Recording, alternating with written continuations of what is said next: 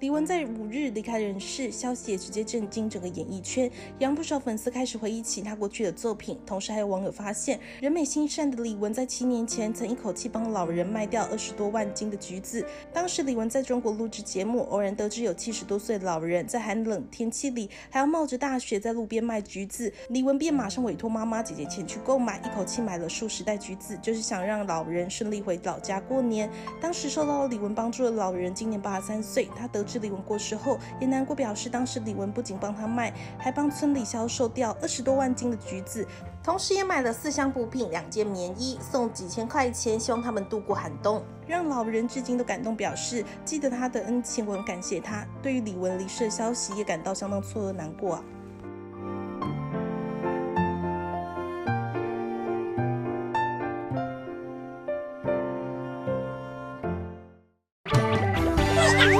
Bye.